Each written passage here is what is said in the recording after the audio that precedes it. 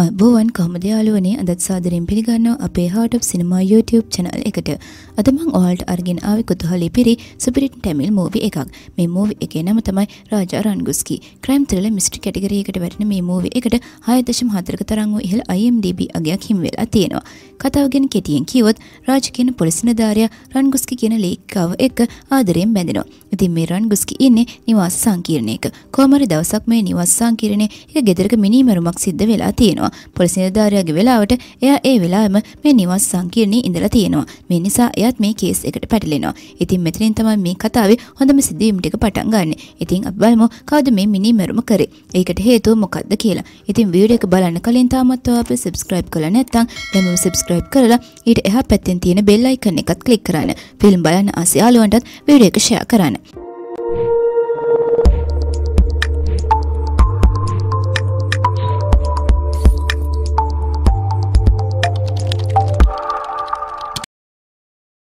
කතාව පටන් ගද්දිම අපිට පෙන්වන්නේ කෙනෙක් කලබලෙන් දුවගෙන එනවා. මේ අතර තවත් කෙනෙක් වාහන ඩ්‍රයිව් කරගෙන එනවා. මෙයාගේ නම තමයි ශිවා. මේ වෙලාවේ එයාට කෝල් එකක් එනවා. මේ කතා කරන්නේ රාජා. එයා කතා කරන්නේ ගොඩක් කලබලෙන් වගේ. එයා ශිවාට කියනවා ඉක්මනට මාව හම්බ වෙන්න කියලා. ඉතින් ශිවා රාජාට එක තැනකට එන්න කියලා කියනවා. ඒකට රාජා කියන්නේත් මාත් ඉන්නේ ඒ ළඟ කියලා. ඉතින් ශිවා දිගටම කාර් එක මේ කිව්ව තැනට ඩ්‍රයිව් කරගෙන යද්දි එක පාටම එක මිනිසෙක් වාහනයට හැප්පෙනවා. ඒ හැප්පුණ කෙනා වෙන කවුරුවත් නෙවෙයි රාජා. කොහමරි රාජා ඇක්සිඩන්ට් වෙන්න කලින් අර ලොකු කතාවක් තියෙනවා. ඉතින් රාජා හැප්පෙන්න හේතුව වගේම එයා කලබලෙන් දුවගෙන ආවේ මොකක් නිසාද කියලා තමයි ඊළඟ කොටසින් අපිට පෙන්වන්නේ. ඉතින් ටික කාලයකට කලින් රාජ කියන්නේ සතුටින් ජීවත් වන පොලිස් නිලධාරියෙක්. එයාගේ පොලිස් රාජකාරිය කර කර ඉන්නකොට තමා එයාගේ ජීවිතය වෙනස් කරන කෙනා හම්බ වෙන්නේ. ඒ තමා රන්ගුස්කි. රන්ගුස්කි දැක්ක ගමන් රාජට එයා ගැන කැමැත්තක් ඇති වෙනවා. කොහොමහරි එක දවසක් අහම්බෙන් වගේ රංගොස්කි ඇවිත් රාජකින් පෑනක් ඉල්ල ගන්නවා. රාජ ළඟින් ඉන්නේ එයාගේ යාළුවා වෙන භාස්කර්. ඉතින් භාස්කර් ඒ වෙලාවේ රාජට කියනවා මේ ලැබුණ අවස්ථාව එයාට කතා කරන්න කියලා. ඊට පස්සේ රාජ රංගොස්කිට එයාව අඳුන්වලා දෙනවා. රංගොස්කිත් එයාව අඳුන්වලා දෙනවා. රංගොස්කි කියන්නේ ලේඛිකාවක් කියලා රාජට කියනකොට භාස්කර් කියනවා මෙයාත් ලේඛකයෙක් තමයි හැබැයි පොලිස් ස්ටේෂන් එකේ කියලා. ඉතින් ඒකට රංගොස්කි රාජගෙන් මිනිමරුන් නඩු වාර්තා එහෙම ගෙනත් දෙන්න පුළුවන්ද අහනවා. මොකද ඒ වගේ එයාට පොඩි උදව්වක් ගන්න පුළුවන් වෙයි කියලා. ඉතින් මේ විදිහට භාස්කර්ගෙන් උදව්වෙන් මේ දෙන්නට දෙන්න හම්බ වෙන්න පුළුවන් වෙන්න සාධාරණ හේතුවක් හොයා ගන්නවා. ඊට පස්සේ මේ දෙන්න නිතර නිතර එකිනෙකාව මුණ ගැහෙන්න එනවා. ඒ වගේ මේ දෙන්න හොඳ යාළුවෝ වෙනවා. රාජට ඒ අවස්ථාවේ රන්ගුස්කි එක ළඟින්ම ඉඳන් එයා දිහා බලාගෙනම ඉන්න පුළුවන් වෙනවා. ඉතින් ඔහොම තමයි රන්ගුස්කි රාජගේ හිතට ඇතුල් උනේ. ඒ කොටස ඉවර වෙලා ඊළඟට අපිට පෙන්නනවා රාජ වැඩ කරන පොලිස් ස්ටේෂන් එක.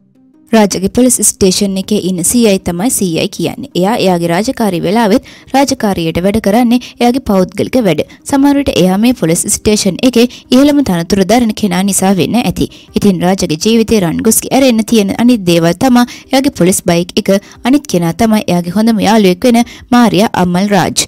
මාරියා අමල් රාජ් කියන්නේ රාජට හොඳ ගයිඩ් කෙනෙක්. ඉතින් එයා නිතරම වගේ මාරියාව හම්බ වෙන්න යනවා. පොලිස් ස්ටේෂන් එකෙන් කෙලින්ම එයාගේ යාළුවත් එක්ක රාජා යන්නේ මාරියාව මුණ ගැහෙන්න.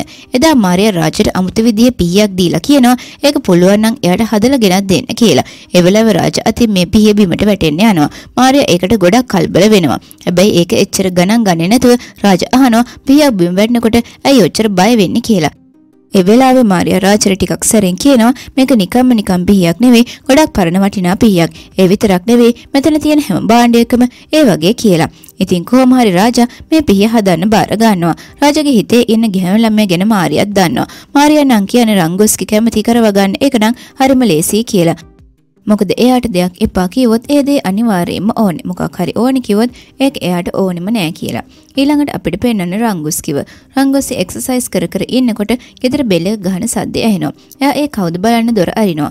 ඒත් එතන කවුරුවත් නෑ. හැබැයි එතන බිම් මල් පොකුරක් තියලා තියෙනවා.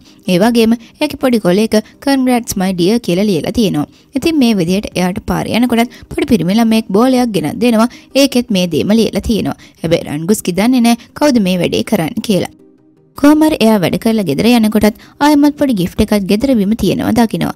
ඉතින් මේ ටිකක් තියාගෙන මේ දේ කරන්නේ කවුද කියලා කල්පනා කර කර ඉන්නකොට රන්ගුස්කිට දාන්නේ නැති නම්බර එකකින් කෝල් එකක් එනවා. ඒ කතා කරන්නේ මේ දේවල් එවපු කෙනා. ඒ වෙන කවුරුවත් නෙවෙයි අපි හොඳටම දන්න රාජා. ඉතින් රාජා මේ කරන්නේ රන්ගුස්කිව කැමති කරගන්න ප්ලෑන් එකක්. එයා රන්ගුස්කිට කියනවා මං කවුද කියලා දැනගන්න ඕන නම් රාජ් කියන පොලිස් කාර්යය එක්ක තියෙන යාළුකම නවත්තන්න. එහෙම වුණොත් මං ඔයාව හම්බ වෙන්න එන්නම් කියලා. එහෙම කියලා රාජ ෆෝන් එක කට් කරනවා. රංගුස්කිට හිතා ගන්න බෑ මේ කෙනා කවුද ඇයි එහෙම කරන්නේ කියලා. ඒත් එක්කම රංගුස්කිට රාජට කෝල් එකක් ගන්නවා. එයා රාජගෙන් අහනවා කොහෙද ඉන්නේ කියලා. ඒකට රාජ කියන්නේ එයා මුර සංචාරයේ ඉන්නවා කියලා. ඒකට රංගුස්කි රාජට කියනවා එයාට මිනිමරුම් ෆයිල් ටික අරගෙන එන්න පුළුවන්ද කියලා. රාජ එහෙනම් අපි කොෆි ෂොප් එකේ මුණ ගැහෙමු කියලා කතා වෙනවා. ඉතින් රාජට හිතෙනවා අගේ ප්ලෑන් එක හරි ගිහින් වගේ කියලා. පහෝදා රාජ යනවා කොෆි ෂොප් එකට. ඒ යනකොට රන්ගුස්කි ඇවිල්ලා වාඩි වෙලා ඉන්නවා. රාජට තේරෙනවා රන්ගුස්කි ටිකක් කලබල වෙලයි ඉන්නේ කියලා. මේ දෙන කතා කර කර ඉන්න අතරේ රන්ගුස්කි ඕඩර් කරපු කෑම එක ගෙන රාජ යනවා. ඒ වෙලාවේ රාජ ෆෝන් එකෙන් ආපහු අර නොදැන නම්බර එකෙන් රන්ගුස්කිට කතා කරනවා. කතා කරලා කියනවා කොච්චර කිව්වත් එයා එක්කම නේද ඉන්නේ කියලා. ඉතින් රන්ගුස්කිට දැන් හිතා ගන්න බෑ මේකට මොකද්ද කරන්නේ? එයා දිහා බලාගෙන ඉන්නේ කවුද කියලා. එදාරේ රන්ගිස්කි රාජට කතා කරලා ඇයි ගෙදරට එන්න කියලා කියනවා. රාජ දැන් දන්නවා එයා කියන්නේ යන්නේ මොකද්ද කියලා. ඉතින් රන්ගිස්කි කියනවා මට ළඟදී ඉඳලා කෙනෙක් නොදන්න නම්බරයකින් කතා කරනවා. එයා මං ඔයා එක්ක ඉන්නවට කැමති නෑ. ඒකයි මං ඔයාට එන්න කිව්වේ කියලා. රාජ ඉතින් දන්නේ නෑ වගේ එයාගෙන් ඒ කවුද කියලා අහනවා. රන්ගිස්කි කියන්නේ මේ කෙනා හැම වෙලාවෙම කොහේ හරි ඉඳලා මං දිහා බලාගෙන ඉන්නවා. ඒ නිසා එයාට පේන්න දෙයක් කරන්න ඕන කියලා. රංගිස්කි රාජට කතා කරලා කියනවා එයාව කිස් කරනවා වගේ රංගපාන්න කියලා. එහෙම කළොත් අනිවාර්යයෙන්ම ඒ කෙනා මේක දැකලා කෝල් කරනවා කියලා. ඉතින් ඒකට රාජ කැමති වෙන්නේ නැහැ. හැබැයි රන්ගුස්කි කියන නිසා රාජ රන්ගුස්කිව කිස් කරනවා. ඒත් රඟපාන්න කියවට රාජ මේක ඇත්තටම කරනවා වගේ දැනුන නිසා රන්ගුස්කි ඒක නවත්තනවා. ඒත් එක්කම රාජ පැත්තකට වෙනවා.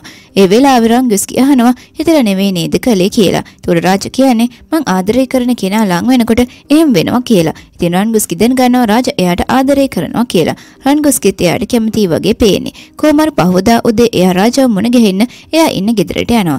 එයා වාඩි වෙලා රාජගෙන් අහනවා ඇයි කෝල් කළේ නැත්තේ කියලා. ඒකට රාජ කියනවා ඔයා කෝල් කරයි කියලා හිතුවා කියලා. ඒතකොට රන්ගුස්කි කියනවා හැබැයි අරයා නම් කෝල් ගත්තා. මං එයාට කිව්වා අපි දෙන්න බඳින්න ඉන්නේ කියලා. ඉතින් රාජ මේ වෙලාවේ දැනගන්නවා රන්ගුස්කිට එයාට ආදරේ කියලා තමා මේ කියන්නේ කියලා. කොහොමරි මේ වෙලාවේ අර නම්බර් එකකින් කෝල් එකක් එනවා. මේ වෙලාවේ රාජ නම් පුදුම වෙනවා. මොකද එයානේ රංගුස්කිට වෙන නම්බර් එකකින් කෝල් කරේ. එතකොට මේ කෙනා කවුද? මෙයාට මේක හිතා ගන්න බෑ. ඉතින් රාජ රන්ගුස්ගේ ෆෝන් එක අරගෙන ඒ නම්බර් එක මොකද්ද කියලා බලනවා. ඊට පස්සේ එයාගේ යාළුවා වෙන ශිවාට කියලා මේ නම්බර් එක විස්තර හොයලා බලනවා. ශිවා කියන්නේ ඒ නම්බර් එක ID එක තියෙන්නේ රාජගේ නම්බරටමයි කියලා. රාජට දැන් මේක ලොකු ප්‍රශ්නයක්. එහෙම වෙන්නේ කොහොමද? පහවදා උදේ රාජ ආයමත් රන්ගුස්ගේ හම්බ වෙන්න යනවා. එයා ආපහු රන්ගුස්ගේ ෆෝන් එක චෙක් කරලා කියනවා ඔයා දැන් පරිස්සම් වෙන්න. ඒක නා ගොඩක් භයානක කෙනෙක් වෙන්න පුළුවන් කියලා. හැබැයි ඒක රංගුස්කිරිත් ගානක්වත් නැහැ. ඒ වෙලාවේ රංගුස්කිට කෝල් එකක් එනවා. රංගුස්කි ඒ දිහා බයෙන් වගේ බලාගෙන ඉන්නවා. ඒක දැක්පු රාජත් හොඳටම බය වෙනවා. ඉතින් රන්ගුස්කි බොරුවට තමා බය වුණා වගේ රඟපල්ලා තියෙන්නේ. මොකද ඒ කතා කරන්නේ එයාගේ යාළුවෙක් කියලා එයා රාජට පෙන්නනවා. ඒත් රාජනං ඉන්නේ ලොකු ප්‍රශ්නක. එයා පොලිස් ස්ටේෂන් එකේ ඉන්නකොට ඒ ගැන කල්පනා කර කර තමා ඉන්නේ. අඩුම තරම එයා එයාගේ යාළුවා භාස්කරටවත් ඒ ගැන කියන්නේ නැහැ. කොහමද මේ වෙලාවේ අර කෙනාගෙන් රාජටත් කෝල් එකක් එනවා. රාජා ඒක ආන්සර් කරනවා. ඒ කෙනා කියන්නේ මං එයාට එකපාරක් අනතුරු ඇඟේවා. ඒත් ඒ කෙල්ල ඒව ගණන් ගන්නේ නැතුව ඔයාට ආදරය කරනව නේද කියලා. ඒකට රාජ කෑ ගහලා අහනවා කවුද ඔයා කියලා. ඒ වගේම රංගුස්කට මොනවා හරි වුණත් ඔයා මරනවා කියලා කියනවා. එතකොට ඒ කෙනා එහෙනම් මං රංගුස්කව මරන්නම් කියලා ෆෝන් එක කට් කරනවා. රාජ ඒ වෙලාවේ නම් හොඳටම බය වෙලා රංගුස්කිට කතා කරලා කියනවා දැම්ම දොරවල් ටික ලොක් කරගන්න කවුරු කතා කරත් දොර අරින්න එපා කියලා. ඉතින් රංගුස්කි කිය විදිහටම දොරවල් ලොක් කරනවා. මේ ගෙවල් ටික බලාගන්න සිකියුරිටිත් මේන් ගේට් එක ලොක් කරලා නිවාස සංකීර්ණය ඇතුළට යනවා. රාජ රන්ගස්ගේ ගෙදරට එන ගමනුයි ඉන්නේ. කොමන් රාජ ඇවිත් සිකියුරිටි එතන නැති නිසා ගේට් එකෙන් පැනලා රන්ගස්ගේ ගෙදරට යනවා. ගෙදරට ගිහින් බෙල් එක ගැහුවට කවුරුවත් නැති නිසා දොරට ගහනකොට එකපාරටම දොර නිකම්ම ඇරෙනවා. ඉතින් රාජ මුළුගේ පුරාම රන්ගස්ගේ හොයනවා. ඒත් කවුරුවත් ගෙදර නැහැ. මම හොඳටම බය වෙලා ඉන්නේ. එයා ආයමත් පල්ලෙහාට එද්දි රන්ගස්ගේ ජනේල ගාව ඉඳලා මෙයාව බය කරනවා. ඉතින් ඒ වෙලාවේ රාජ කියනවා මං දොර ලොක් කරලා නේද තියාගන්න කීවේ කියලා. ඒකට රන්ගුස්කි කියනවා මං දොර ලොක් කරා ඒත් ආයෙ මොකටද කියලා හිතලා දොර ලොක් කරේ නෑ කියලා. කොමර් එයාට මුකුත් කරදරයක් උනේ නැති නිසා රාජ ආයෙමත් ගෙදර යනවා. එයා දැන් ගොඩක් බයෙන් ඉන්නේ මේක නා රන්ගුස්කිට මොනවා හරි කරදරයක් කරයි කියලා. පහවදා උදේම රන්ගුස්කි ඉන නිවාසයේ සංකීර්ණයට පොලිස් ජීප් දෙකක් එනවා. ඒ මොකක් හරි අපරාධයක් වෙලා වගේ පේන්නේ. ඉතින් පොලිසිය සහ අධිකරණ වෛද්‍ය කණ්ඩායම එයා අපරාධය වුණ තැනට ගිහිලා පරීක්ෂා කරලා බලනවා. ඒ මැරිලා ඉන්නේ වෙන කවුරුවත් නෙවෙයි රාජ නිතර මුණ ගැහෙන්න ගියපු මාරියා.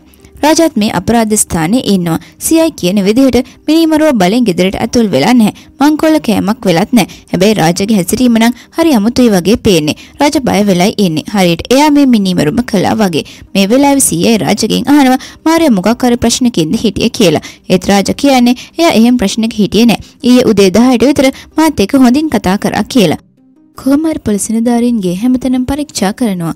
මේ අතේ රාජ දකිනවා කණ්ණාඩි මේස උඩ තිබුණ බිල් එකක් වගේ දෙයක්. ඒක දැකපු ගමන්ම එයා ටිකක් බය වෙලා ඒ බිල් එක සාක්කුවේ දාගන්නවා. දැන් මෙච්චර බය වෙන්න හේතුව මොකද්ද කියලා නම් අපි තාම දන්නේ නැහැ. කොහොම හරි මරණ පරීක්ෂණයට මල්සුර යවලා හැමෝම එතනින් යන් හදනකොට සියයි දකිනව රාජක සාක්කුවේ කොල කැල්ලක් තියෙනවා. ඉතින් එයා හිමීට රාජ ළඟට ගිහිල්ලා ඒක සාක්කුවෙන් ගන්න හැදුවත් ඒ වැඩි සාර්ථක වෙන්නේ නැහැ. කොහොම හරි එයා ඒක වැඩි ගණන් ගන්නේ නැහැ. ඊළඟට මෙයාලා සිගරට් එන්න කියලා ප්‍රශ්න කරනවා. මුරකරු තමයි මල්සිරු මුලින්ම දැකලා තියෙන්නේ. ඒ ගෙවල් වලට පත්තර බෙදනකොට කොමාරි එදා මාර්යාගේ ගෙදර දොර ඇරලා දාලා තිබුණ නිසා සිගරට් ඇතුළට ගිහින් බලනකොට තමයි මාර්යා මැරිලා ඉන්නවත් දැකලා තියෙන්නේ. ඒක දැකපු ගමම එයා බය වෙලා මේ නිවාස සංකීර්ණයේ ලේකම්ට දැනුම් දීලා තියෙනවා. ඊට පස්සේ සීයයි ලේකම් කැඳවලා එයාගෙන් ප්‍රශ්න කරනවා. මුලින්ම අහන්නේ මෙච්චර ගෙවල් තියෙන නිවාස සංකීර්ණයක මොකද CCTV නැත්te කියලා. ඉතින් ඒකට ලේකම් කියන්නේ CCTV හයි කරන්න තමයි හිටියේ කියලා. කොහමරි පශ්චාත්මාන පරීක්ෂණයෙන් ඔප්පු වෙලා තියෙන්නේ වින්දිතියා ඝාතනය කරලා තියෙන්නේ තියෙන ආයදයකින්. ඒ වගේම ඒ තුවාල පාරවල් අනුව එක පෞද්ගලික තරහකට කරපු දෙයක් කියලා. ඒ විදිහට මාර්යාගේ අසල්වාසී හැම කෙනාගේම සියයි ප්‍රශ්න කරනවා. ඒ වෙලාවේ එක් ගෙදරක ඉන්න කෙනෙක් කියනවා එයා මුකුත් දැක්කේ නැහැ. හැබැයි එයාට කවුරු හරි දුවනවා සද්දයක් ඇහුණා කියලා. එහෙම කියනකොටම රාජට මතක් වෙනවා එයා ඊයේ රෑ මේ කියන කෙනාගේ ගෙදර ළඟ මුරකරට පේන්නේ නැති වෙන්න හැංගිලා ඉන්නකොට එතන තිබුණු බාල්දියක් පෙරෙල්ලා ඇහුණ සද්දෙන් ඒ කෙනා ගෙදර ලයිට් එක දානවා. එතකොට රාජ එතනින් බේරෙන්න පැනලා යනවා. මේ විදිහට සියයි දිගින් දිගටම ප්‍රශ්න කරනකොට තවත් කෙනෙක් කියනවා රතු පාට කමිසයක් ඇඳගත්තු කෙනෙක් ඊයේ රෑ දුවනවා දැක්කා කියලා. මේ ප්‍රශ්න කරන අය අතරේ රන්ගුස්කිත් ඉන්නවා. මොකද එයත් මාරියාගේ අසල්වැසියෙක්. ඉතින් සීයයි කියන්නේ අනිවාර්යයෙන්ම මිනිමර මොකක් හරි හෝඩුවාවක් ඉතුරු කරනවා. අපි ඒක හොයා ගන්න ඕන කියලා. එහෙම කියනකොට රාජට මතක් වෙනවා ඒ ගෙදරක තිබුණු CCTV එක. ඊට පස්සේ රාජා පුළුවන් ඉක්මනින්ම ඒ ගෙදරට හොරෙන් ගිහින් එදා රෑ එයා මේ ගේ ළඟින් දුවගෙන යන වීඩියෝ එක අයින් කරලා දානවා. ඊට පස්සේ රාජා ගෙදර ඇවිත් ඉන්නකොට එයාට අර නන්නාදුරන කෙනාගෙන් කෝල් එකක් එනවා. ඒ කෙනා කියනවා මම මුලින්ම මරන්න හිතන් හිටියේ ඒ කෙල්ලව තමයි. හැබැයි අර වයසක කාන්තාව මල්ල මං ඒ වැරද්ද ඔයාගේ පිට දැම්මා. ඔයා CCTV වීඩියෝ මැකුවත් වැඩක් නැහැ. ඔයා ඉවරයි කියලා. ඒ කියන්නේ මේ පුද්ගලයා තමයි මේ අපරාධය කරලා රාජාව මේකට පටලවන්න උත්සාහ කරන්නේ. ඒත් ඒකට හේතුව මොකක් වෙන්න පුළුවන්ද? රාජා මේ වෙලාව විශ්වාට කෝල් එකක් දීලා කියනවා මං ඔයාට කලින් දුන්න නම්බර් ට්‍රේස් කරලා විස්තර කියන්න කියලා. ඉතින් ශිවා ඒක ට්‍රේස් කරලා කියනවා කලින් කෝල්ස් ආවේ ක්ලාසික් මෝල් එකකින් හැබැයි අන්තිම කෝල් එක ඇවිත් තියෙන්නේ ඔය ගෙවල් ළඟ ටවර් එකකින් කියලා. කොමරි දැන් රාජ දන්නේවත් නැති දෙයකට පැටලිලායි ඉන්නේ. ඒත් ඔයාලට හිතනවා ඇති රාජ මොනවද එදා රෑ මේ නිවාස සංකීර්ණේ කළේ කියලා. ඉතින් අපි ඒ ගැන කතාව ඉස්සරහට බලමු. කොමරි මේ නඩුව විසඳන්න පරක්කු වෙන්න නිසා SI හොඳටම CIට බයිනවා. මේ නිසා මේ කේස් එක CID එකට මාරු වෙනවා. ඉතින් CID එකේ ඉන්න දක්ෂ පරීක්ෂක කෙනෙක් වෙන KKට තමයි මේ වැඩේ බාර වෙන්නේ. ඉතින් පහවදා උදේම KK මේ නගරයට එනවා මේ කේස් එක ගැන බලන්න. ඇවිත් CIව මුණ ගැහෙනවා. මේ වෙලාවේ CI එයාට මෙච්චර කාලයක් විමර්ශනය කරපු ෆයිල් දීලා KKට කියනවා මට තව සතියකට කල් දුන්න නම් ඔක විසඳනවා. කමක් නැහැ. ඔයා විසඳුවත් එකයි මම විසඳුවත් එකයි කියලා කියනවා. ඉතින් KK මයි ෆයිල් ටිකත් බලලා ඒවා පැත්තකට දාලා CIට කියනවා අපි ආයේ මුල ඉඳන් මේ කේස් එක විමර්ශනය කරමු කියලා. ඊට පස්සේ KK CI එක මේ අපරාධ ස්ථානයට යනවා. ගිහින් ලේකම්ගේ මේ නිවාස සංකීර්ණය ගැන ප්‍රශ්න කරනවා. එයාගෙන් වැඩි තොරතුරක් හම්බුනේ නැති නිසා මේ නිවාස සංකීර්ණයට එන අයගේ නම් ලිස්ට් එක බලනවා. එතන පොලිස් නිලධාරියෙක්ගේ නිල නිවාසික ඇඩ්‍රස් එකකුත් තියෙනවා. ඒ කියන්නේ රාජගේ නිල නිවාස ඇඩ්‍රස් එක. මේ නිසා KK CIට කියනවා මට එයාව හම්බ වෙන්න ඕන කියලා.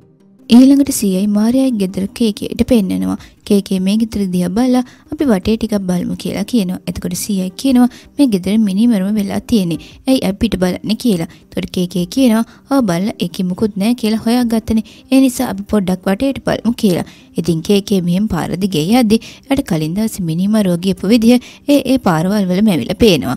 ඉතින් එයාගේ තියෙන දක්ෂතාවය පාවිච්චි කරලා කලින් දවසේ රෑ රාජ දුවගෙන ගියපු විදිහටම හරි පාර ඉවෙන් වගේ අනුමාන කරනවා. පළවෙනි වීදියෙන් දුවන්න පටන් ගත්තු කේකේ නවතිනේ හතරවෙනි වීදියේ ගෙදරක් ළඟ.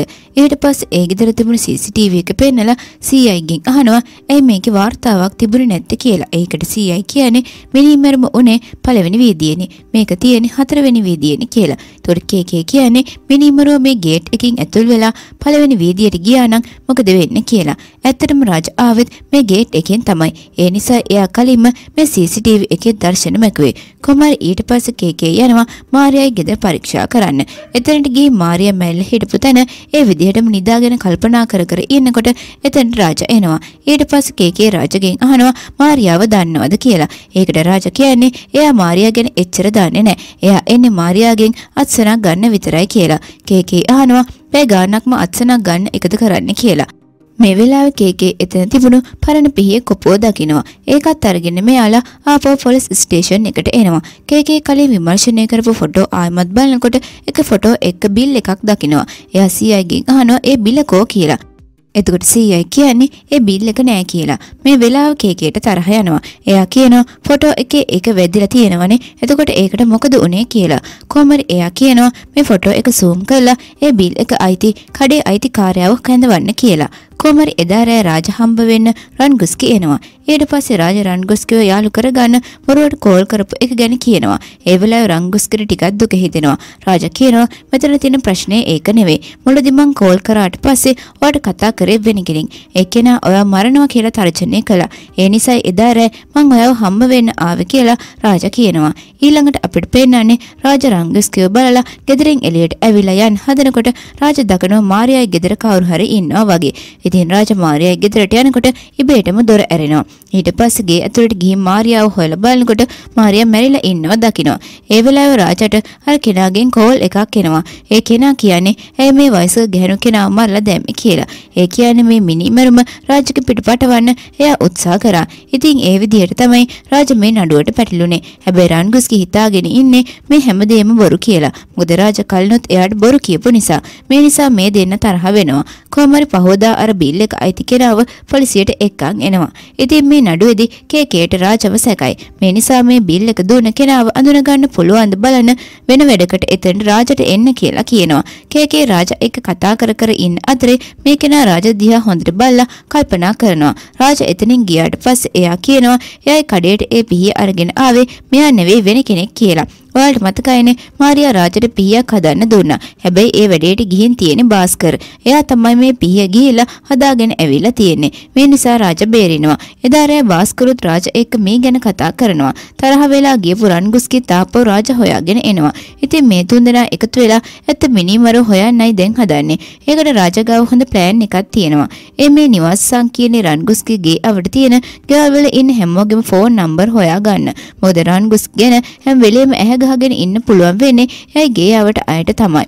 ඊළඟට ඒ නම්බර් වලට කතා කරලා එයා තව මිනිමරුවක් කියලා දන්නවා වගේ බයිගන් වල ෆෝන් එක කට් කරනවා. එතකොට ඒ කෙනා බයටම අනිවාර්යයෙන්ම විනාඩි 10ක් ඇතුළත ආපහු කෝල් එකක් ගන්නවා. ඊළඟට මෙයාලා නම්බර් 6කට එකවර කෝල් අරන් කියනවා ඔයා හංගන් ඉන්න දේ අපි දන්නවා කියලා. එහෙම කිව්වම ඒ අයට කුතුහලයක් එනවා. ඉතින් හැමෝටම කතා කරලා විනාඩි 10ක් විතර බලාගෙන ඉන්නවා කෝල් එනකන්. ටික වෙලාවකට පස්සේ පළවෙනි කෝල් එක එන්නේ ලේකම්ගෙන්. හැබැයි එයා බය වෙලා තියෙන්නේ වෙන දෙයකට.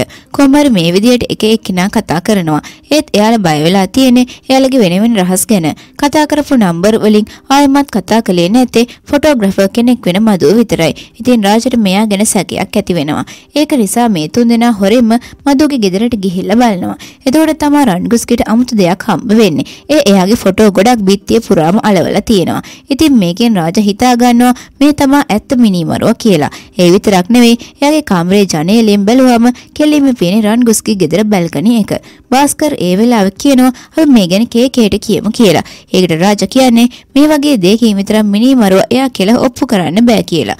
කුමර් මේ අතර සීයයි සහ කේකේ මේ ගැන කතා කර කර ඉන්නවා. කේකේ අහනවා මේක මංකොල්ල කෑමක් නෙවෙයි කියන්න පුළුවන් සාක්ෂි තියනවද කියලා. ඒකට සීයයි කියන්නේ මාර්යාගේ සේප්ුවේ තිබුණ එයාගේ ඇඟිලි සලකුණ විතරයි කියලා. ඊළඟට කේකේ කියනවා මාර්යාගේ බැංක් accountස් ගැන හොයලා බලන්න කියලා. කුමර් මේ අතර රාජට එහෙම මදුවගෙන් කෝල් එකක් එනවා. මදුව කියනවා මන් නෙමෙයි ඔයාලා හොයන මිනි මරුවා. ඔයාලා මාව හොයනවා කියලා මන් දන්නවා. මාව හම්බුනොත් මං හැමදේම කියන්නම් කියලා. මේ අතර CI හොයා ගන්නවා මාරියාට බැංකු ගෙනුමක් තිබුණා කියලත් ඝාතනයට දවස් දෙකකට තුනකට කලින් ඒ account එකේ තිබුණු ලක්ෂ 10ක් අරගෙන ඒ account එක කැන්සල් කරලා කියලා.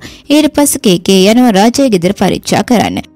ඉතින් රාජාගේ ගෙදර පරීක්ෂා කරනකොට ඝාතනය වුණ දවසේ මිනිමරු ඇඳගෙන ගියා කියන රතු කමිසයත් ඝාතනය කරපු ආයුධ වගේම ගෙදර තිබුණ ලක්ෂ 3කුත් පොලිසියට හම්බ වෙනවා. ඉතින් සීයයි කියනවා ලක්ෂ 10න් 7ක් සමහරට වියදම් කරන්න ඇති කියලා. ඒ වෙලාවේ කේකේට රාජගෙන් කෝල් එකක් එනවා. රාජ කියනවා මම මිනිමරුව හොයාගත්තා කියලා. හැබැයි කේකේට දැන් ඒක විශ්වාස කරන්න බෑ. මොකද රාජට විරුද්ධව ප්‍රබල සාක්ෂි හොයාගන්න පුළුවන් වුණ නිසා. රාජ කියනවා මන් දන්නවා සර් ඔයාලා මාව සැක කරනවා කියලා. ඒත් පුළුවන් නම් මං කියන තැනට එන්න. මට ඔප්පු කරන්න පුළුවන් කියලා. ඉතින් ඒකට කේකේ එයාව හම්බ වෙන්න එකඟ වෙනවා. කේකේ යනවා රාජ එන්න කියන තැනට. රාජත් යනවා ෆොටෝග්‍රැෆර් එන්න කියපු තැනට. හැබැයි රාජ යනකොට හොඳටම පරක්කු වැඩි. මිනිමර ෆොටෝග්‍රැෆර්වත් මල්ලා දාලා එතනින් පැනලා ගිහින් ඉවරයි. අන්තිමේට එතනට එන කේකේ දකින්නේ රාජ මදුව මල්ලා දාලා වගේ. ඒක නිසා කේකේ රාජව අත්අඩංගුවට ගන්නවා. ඉතින් ඊට පස්සේ රාජ එයාට උන හැම දෙයක් ගැනම කියනවා. ඒ රන්ගස්ගේ ඒක යාළු උන විදිහ. එයාට කෝල් ආව එක වගේම එදා රෑ මාරියාගේ ගෙදරදී මාරියාගේ මල්සිරුර දැකපු එකත් කියනවා. ඉතින් එදා මාරියා මැරලා ඉනවා දැක්කට පස්සේ රාජට මේ මිනිමරුවගෙන් කෝල් එකක් එනවා. මිනිමරුව උත්සාහ කරන්නේ රාජව මේ කේස් එකට අහු කරන්න නිසා රාජ එයාගේ ඇඟිලි සල්කුණු ඔක්කොම මකලා දානවා. මේ වෙලාවේ තමයි එයා කණ්ණාඩියකින් දකින්නේ මිනිමරුව තාමත් මේ ගෙදර ඉන්නවා කියලා. එයාගේ අතේ කුරුසයක ටැටූ එකක් තියෙනවා. මිනිමරුවත් ඇඳගෙන ඉන්නේ රතු පාට කමිසයක්. ඉතින් මිනිමරුව දුවදී රාජත් ඒ කෙනා පස්සෙන් පන්නනවා. හැබැයි රාජට එයාව අල්ලගන්න බැරි වෙනවා. රාජ නිවාස සංකීර්ණෙන් එළියට ඇවිල්ලා පාරේ ඉන්නකොට එතන නවත්තලා දාලා තිබුණු කළු පාට කාර් එකක් එක පාටම රාජව හප්පගෙන යන්න හදනවා. කොහමද එදා ඒ සිදුවීමෙන් පස්සේ මෙතෙක් වුණ හැම දෙයක්ම රාජකේකේට කියනවා. ඒත් මේ කියන දේවල් වලින් කේකේට තියෙන ප්‍රශ්නේ තමා ඇයි මේ කියන කෙනා රාජව අහු කරන්න හදන්නේ. අනික රාජයේ ගෙදර තිබුණ සල්ලි රතු කමිසේ ඒව කොහොමද වෙන්නේ කියන එක. ඒ විතරක් නෙවෙයි මේ කතා කරන කෙනාගේ සිම් එක පවා තියෙන රාජගේ නමට. ඉතින් ඒකට රාජගේ උත්තරේ වෙන්නේ එයා දන්නේ නැහැ කියන එක. කේකේ කියනවා ඔයාට අද කොහොමරි ඇත්ත පාපොච්චාරණය කරන්න වෙනවා කියලා. එහෙම කියලා එයා රාජව සියයිට බාර දීලා එතනින් යනවා. සියයි මේ වෙලාවේ රාජ ළඟින් වාඩි වෙලා කියනවා කේකේ එක්ක මුකුත් කරන්න බෑ. ඒක නිසා ඔයා කරපු දේ පාපොච්චාරණය කරන්න කියලා. ඉතින් කරන්න දෙයක් නැති තැන රාජ පාපොච්චාරණය කරන්න කැමති වෙනවා. සියයි ඒ වෙලාවේ කොලේකුයි පෑනෙකුයි ගේන්න ගන්නවා. රාජ කියනවා එයාම ඒක ලියන්නම් කියලා. ඒක තවත් හොඳයි කියලා සියයි රාජගේ මාංචු ගලවලා දාලා වතුර ටිකක් බොන්න යනවා. හැබැයි වතුර බීලා ආයෙමත් එනකොට රාජ පේන්නේ නැහැ. එයා මෙතනින් පැනලා ගිහිලා. රාජ කෙලිම ගිහින් තියෙන්නේ බාස්කරවයි රන්ගුස්කවයි හම්බ වෙන්න. මේ අතර සීයි කරපු වැඩේට කේකේගෙන් හොඳටම බැනුම් අහ ගන්නවා. ඊළඟට එතන ඉන්න පොලිස් නිලධාරියෙක් කේකේට කියනවා රාජගේ ෆොටෝ එකක් කැම් පොලිස් ස්ටේෂන් එකටම යවන්න කියලා. කේකේට දැන් හොඳටම තරහ ගිහිල්ලා ඉන්නේ. මේ අතර රන්ගුස්ගේ ෆෝන් එකට අර මිනිමරුවගෙන් කෝල් එකක් එනවා. එයා කියනවා කොච්චර බේරෙන්න හැදුවත් වැඩක් නැහැ. දැන් නම් ඔයා අනිවාර්යයෙන්ම ඉවරයි කියලා.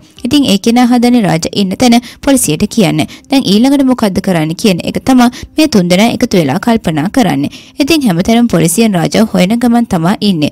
මේ අතර මේ තුන්දෙනා ඉන්නේ එක සංගීත ප්‍රසංගයක් ළඟ. මෙයාලා ඒ සින්දුව බල බලා ඉන්න අතරේ රාජ දකින්න එතන හිටපු කෙනෙක්ගේ අතේ එදා රෑ මාර්යාගේ ගෙදර දැකපු මිනිමරුවගේ අතේ තිබුණු ටැටූ එකම තියෙනවා. ඒක නිසා රාජ එයාගේ අත දිහා හොඳට බලනවා. හැබැයි ඒක ඒ ටැටූ එක නන් නෙවෙයි.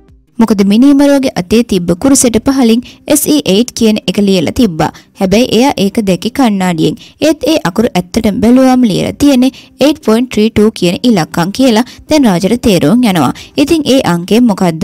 රන්ගොස්කි කියන සමහරට ඒක බයිබලයේ තියෙන එකක් වෙන්න පුළුවන් කියලා. ඒ නිසා එයා ඒක Google search කරලා බලනවා. එතකොට තමයි ඒක බයිබල් වගන්තියක අංකයක්. ඒකෙන් කියවෙන්නේ ඔබ සත්‍ය සොයා ගිය විට සත්‍ය ඔබව නිදහස් කරනු ඇත කියලා. කොහමරි ඒ වෙලාවේ රාජට මතක් වෙනවා මාරියාගේ ගෙදර ඉඳන් එළියට ආවට පස්සේ කළු පාට කාර් එකක් යව හප්පන්න හදන එක. එයාට හිතන සමහරට 8.32 කියන්නේ මිනිමරුවගේ වාහනේ අංකය වෙන්න පුළුවන් කියලා. මේ නිසා එයා ශිවාට කතා කරලා ඒ කාර් වර්ගයේ තියෙන අයගේ විස්තර හොයලා දෙන්න කියලා කියනවා. ඒ වගේම ඒ ටික ගන්න එයාගේ යාළුවා භාස්කර් එවන්නම් කියලා කියනවා. ඉතින් භාස්කර් ගෙදරින් ගියාට පස්සේ රන්ගස්කි රාජට කියනවා මාව ඔයාට හම්බුනේ නැත්තම් මේ ප්‍රශ්න මුකුත් නෑ නේද කියලා. රාජ කියනවා මිනිමරුවට ඕන ඔයා නෙවෙයි. එයාට ප්‍රශ්නේ තියෙන්නේ මාත් එක්ක. එයාට ඕනි මගෙන් මොන හරි ගන්න කියලා. කොහමරි පහවදා උදේ ශිවා භාස්කරට ඒ කාර් හිමියන්ගේ විස්තර ටික දෙනවා. එතන තියෙන නම් වලින් සල්කිය යුතු කෙනෙක් වෙන්නේ ජෝන් කියන කෙනාගේ නම් විතරයි කියලා රාජ කියනවා. මොකද රාජා එක්ක එදා දිව ඒ වගේ වයස තියෙන කෙනෙක් කියලා එයා කියනවා. ඉතින් ඊට පස්සේ අපිට පේනවා ජෝන් කියන කෙනා එයායි ගෙදර එනවා. ඇත්තටම එයායි කාර් එකේ අංකේ 832. එයාගේ ටැටූ එකෙත් ඒකම කොටලා තියෙනවා. එයාගේ ගේ ඇතුලේ අර තුන්දෙනා හැංගිලා ඉන්නේ. ජෝන්ට පොඩි අමුත්තක් දැනෙනවා. ඒක නිසා එයා පොඩ්ඩක් වටපිට බලනකොට රාජ එයාට එකපාරටම පහර දීලා එයාව අල්ල ගන්නවා. ඊට පස්සේ එයාලා ඉන්න තැනකට එක්කන් ඇවිල්ලා ජෝන්ව බෙදර දාලා එයාගෙන් ඇත්ත අහනවා. එතකොට තමයි ජෝන් ඇත්ත කියන්න පටන් ගන්නෙ. මේ ජෝන් කුලියට එක එක වැඩ කරන කෙනෙක්. දවසක් එක ගණුම් කරුවෙක් මාරියාගේ මාරියාගේ ෆොටෝ එකක් පෙන්නලා එයාට කියනවා මාරියා ළඟ තියෙන B42 ගුටන්බර්ග් බයිබලයේ ගෙනල්ලා දෙනවා නම් ලක්ෂ 50ක් දෙනවා කියලා. ඊට පස්සේ ජෝන් මාරියාව හොය හොයා ඉන්නකොට පල්ලියකදී මාරියාව දකිනවා. ඊට පස්සේ එයාව කීප සැරයක්ම හම්බ වෙන්න ගිහිල්ලා මේ ගැන ඇහුවත් එයා මුකුත් කියන්න කැමති වෙන්නේ නැහැ. ඒක නිසා බයිබලයේ ගන්න ජෝන් එදාරේ මාරියාගේ ගෙදරට යනවා. හැබැයි ඒ යනකොටත් මාරියාව කවුරු හරි මල්ලා දාලා. ඒ ජෝන් ඒක ගැන බලන්නේ නැතුව බයිබලයේ හොයනවා. ඒත් ඒක එයාට හම්බ වෙන්නේ නැහැ. ඒ වෙලාවේ මල් පෝච්චියක් පෙරලෙන සද්දෙට තමා රාජමාරයයි ගෙදරට එන්නේ. ඊට පස්සේ තමා ජෝන් මෙතනින් පැනලා දුවන්නේ. ඒ වගේම රාජව කාර් එකට හප්පගෙන ගිහින් තියෙනෙත් බයට. ඉතින් මේ බයිබලයේ තියෙන වැදගත්කම මොකද්ද කියලා භාස්කර් අහනවා. ඒකට රන්ගුස්කි කියන්නේ මේ බයිබලය තමයි ලෝකෙ පළවෙනි මුද්‍රිත බයිබලය. මේක අවුරුදු 500කටත් වඩා පරණයි. දැන් ඒකෙ මිල කෝටි 100ක් විතර වටිනවා. මේ පොත්වලින් ලෝකෙම තියෙන පිටපත් 49ක් විතරයි කියලා. ඉතින් ඇත්තටම දැන් මේ බයිබලයේ කොහෙද? මාරියා මෙරුවේ කවුද කියන එක තමයි මෙයාට තියෙන ප්‍රශ්නය. කොමර් මේ අතර කේකේ කියනවා රාජගේ නම්බර් එක ට්‍රැක් කරන්න කියලා. දැන් රාජ කරන්න හදන්නේ චෝන්ගේ මේ රෙකෝඩ් එක කේකේට පෙන්වන්න. ඒක නිසා ඒ රෙකෝඩ් එක කේකේට දෙන්න කියලා රන්ගුස්සිට කියනවා. ඊට පස්සේ රන්ගුස්කි එතනින් යනවා. කොමර් එදා රෑ රාජට ආයෙමත් අර කෙනා කතා කරනවා. ඒ රන්ගුස්කිව පැහැරගෙන කියලා කියන්න.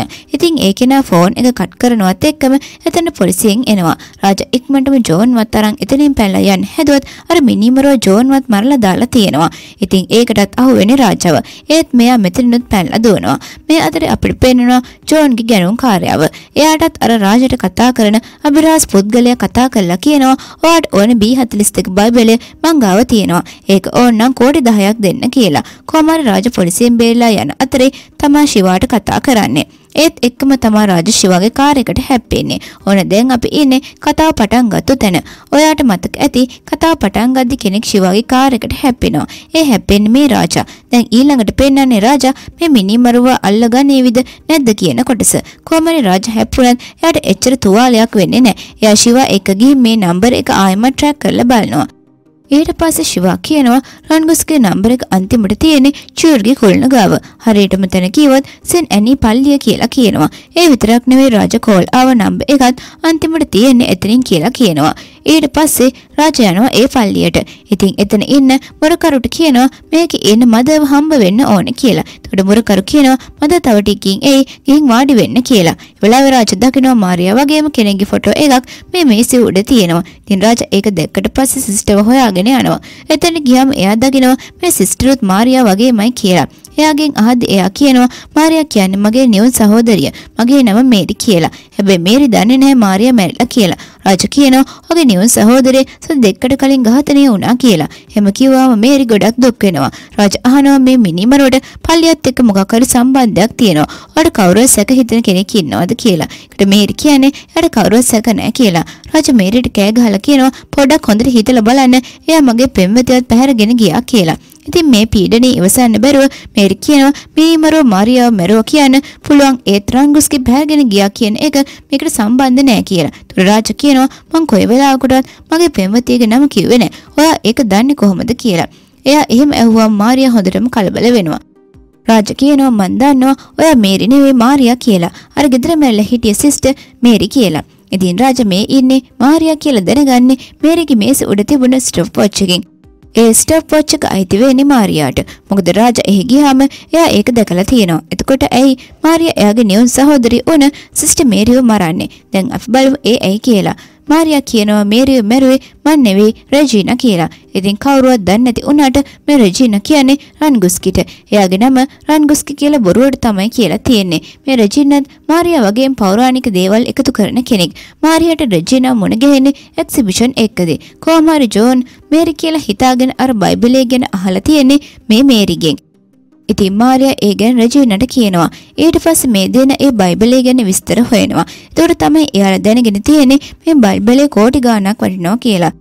ඉතින් මෙයාලා තේරුම් ගන්නවා මේ බයිබලයේ තියෙන්නේ මේරි ගාව නිසා තමයි මෙයාලා වැරදිලා මාරියාගෙන් ඊගෙන අහන්නේ කියලා. ඒ නිසා රජීන මාරියා ඒක එකතු වෙලා මේ බයිබලේ එයාගෙන් ගන්න ප්ලෑන් කරනවා. ඉතින් මාරියා මේරිට කතා කරලා ඒ බයිබලේ ඉල්ලනවා. හැබැයි එයා ඒක දෙන්නේ නැහැ. ඒක නිසා රජීන තීරණය කරනවා මේරියෝ මරලා බයිබලය අරගන්න. සල්ලි වලට තිබුණු කැදරකම් නිසාම මාරියාව රජීන එයාගේ සෙල්ලමට පටලවා ගන්නවා. කොමරි දවසක් මේරිට මාරියාගේ ගෙදරට එන්න කියලා රජීන එයාව මරලා දානවා. ඊට පස්සේ මේරි වගේ පල්ලියට යන්නේ මාරියා. ඊට පස්සේ මාරියා මේරිගේ චරිතය නිරූපණය කරමින් පල්ලියේ ඉන්නවා. එදායින් පස්සේ තමයි මාරියාත් රෙජිනා කියන්නේ කවුද කියලා හරියටම දැනගන්නේ. ඉතින් මාරියා මේ කියන දේවල් රාජා ඇස්වල කඳුළු පුරවගෙන අහගෙන ඉන්නවා. රෙජිනා රාජාව මේකට සම්බන්ධ කරගත්තේ මේ මිනිමරුම් වලට අහු කරන්න. ඒ වගේම රාජා කලින් ඉඳලම කෝල් කරනවා කියලා රෙජිනා දැනගෙනයි ඉන්නේ. ඒකෙන් රෙජිනා රාජාව එයාගේ වැඩේට යොදා ගන්නවා. රෙජිනා ඇප් එකකින් කටහඬ වෙනස් කරලා කතා කරනවා.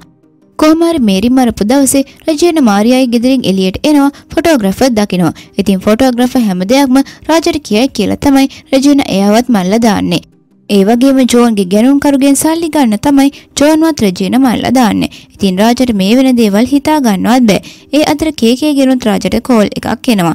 රාජා එයාට විස්තරේ කියනවා. මේ නිසා එයා රජින්නයි ගෙදරට ගිහින් බලනවා. එතෙන්දි කේකේටම තේරෙනවා රාජා කියන්නේ ඇත්ත කියලා. මේ කරපු දේවල් වලට මාරියාවත් අත්අඩංගුවට ගන්නවා. දැන් රජිනව තමයි හොයාගන්න තියෙන්නේ. කොහමද රජින බයිබලයත් අරගෙන ගැනුම්කරුට එන්න කියපු තැනට යනවා. ගැනුම්කරුත් බයිබලේ පරීක්ෂා කරලා බලලා රජිනට සල්ලි දීලා එතනින් යනවා. හැබැයි රජිනට එතනින් යන්න පුළුවන් වෙන්නේ නැහැ. එයා රාජාගේ අතටම අහු වෙනවා. විතරක් නෙවෙයි පොලිසියත් එතනට එනවා. කොමර පොලිසියෙන් බේරෙන්න රජින දෝලා ගිහින් හැංගිලා ඉන්නකොට කේකේ එයාට වෙඩි තියන්න හදනවා. ඒත් රාජා ඒක වළක්වනවා. ඒත් ඒ උණ්ඩේ රජිනට වදිනවා. ඒකෙන් එයා රාජාගේ අත් දෙක උඩම මැරෙනවා. අන්තිමට රාජා හැම දෙයකින්ම නිදහස් වෙනවා. හැබැයි රාජා හිතන්නේ නැතුව ඇති එයා හදවතින්ම ආදරය කරපු කෙනා මේ විදියට එයාව රවට්ටයි කියලා. ඒකයි රාජට තියෙන එකම දුක. ඉතින් මේ විදියට මේ සුප්‍රීම් ෆිල්ම් එක ඉවර වෙනවා. අද ෆිල්ම් එක හොඳයි නම් අපිව සබ්ස්ක්‍රයිබ් කරන්න, ලයික් කරන්න, යාළුවන්ටත් ෂෙයා කරන්න. අපි තවත් මේ වගේ අලුත් ලස්සන ෆිල්ම් එකකින් හම්බ වෙමු.